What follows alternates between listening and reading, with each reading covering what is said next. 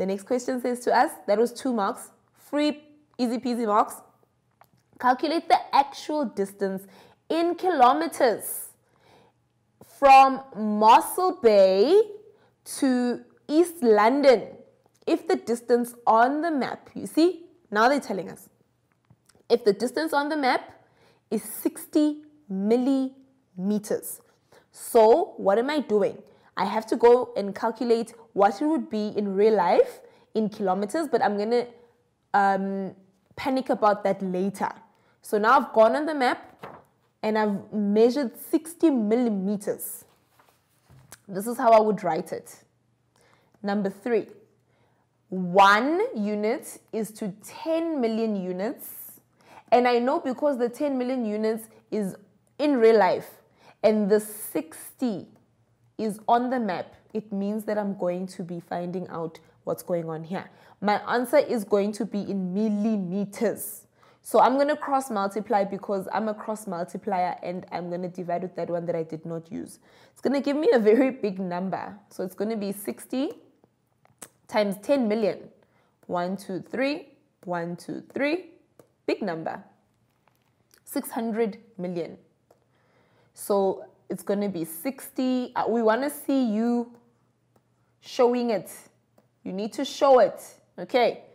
It's going to give you 600. We just did it now, né? 600 million. But this is 600 million millimeters. We need to convert these millimeters into kilometers. And if you're converting millimeters into kilometers, you're going to use um, that scale that we always use. So what would I start with? Millimeter, centimeter, meter, kilometer. So if I'm moving, okay, let me let me do it the other way around because I want to start with the bigger one. Kilometer, meter, centimeter, millimeter. So if I'm moving from here to here, I need to multiply by a thousand. I need to multiply by a hundred and then I need to multiply by 10. Going backwards, I would then divide. So I would divide that by 10.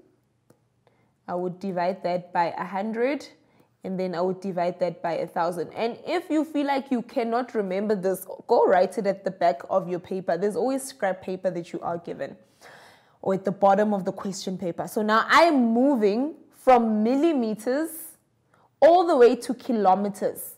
So how many zeros do I have? I have one zero, three zeros, and then six zeros because I've combined all my zeros.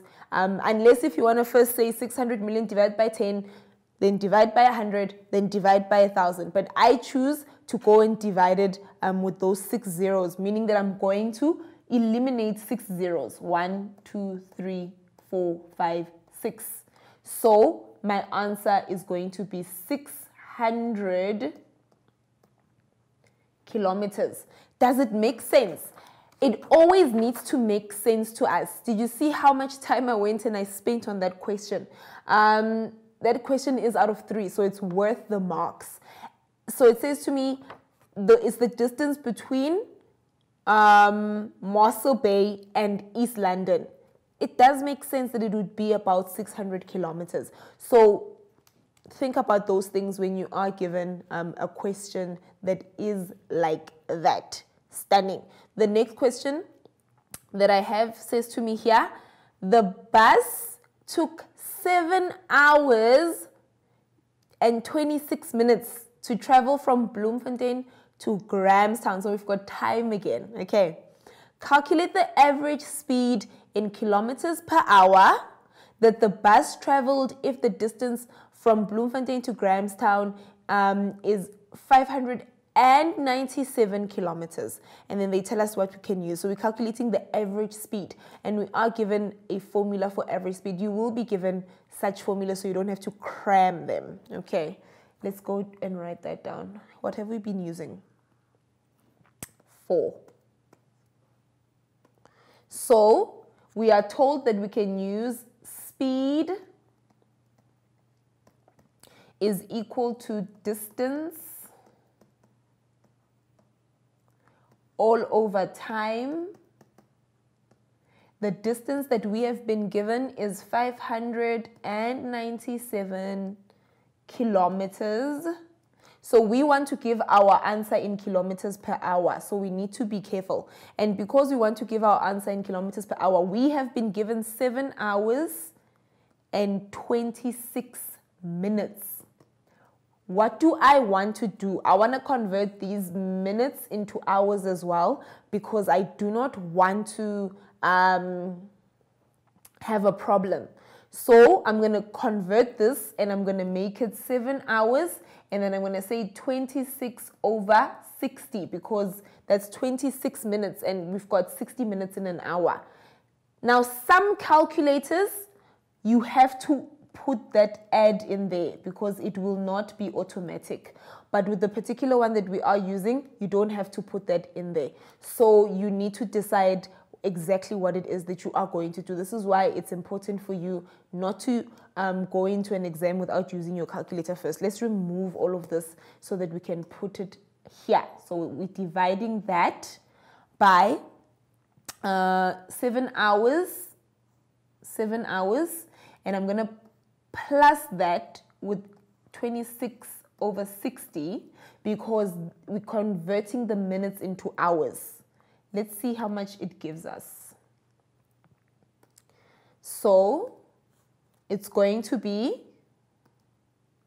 um, 597 divided by 7 hours.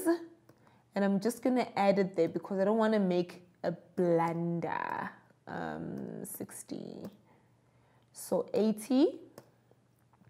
80.31. I'm going to round it off to two decimal places because it doesn't say to me um, that I need to con I mean leave it as a whole number. So I'm going to say 80.31.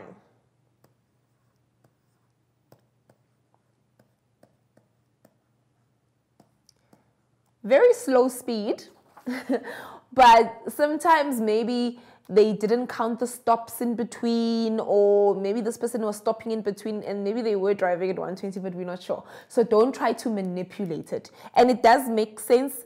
South African time, kilometers per hour, you can drive at 80.31 um, kilometers per hour. It always needs to make sense to you. Always needs to make sense to you.